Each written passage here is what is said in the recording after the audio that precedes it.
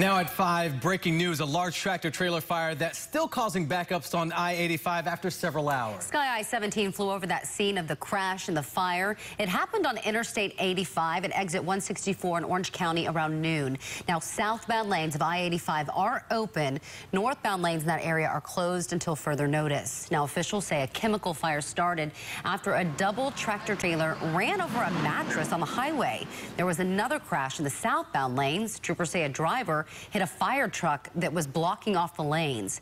Now, drivers are being detoured along I-85 and on I-40 towards Raleigh. CBS 17 does have a crew at the scene. We'll bring you live updates on air and online using our CBS 17 News app.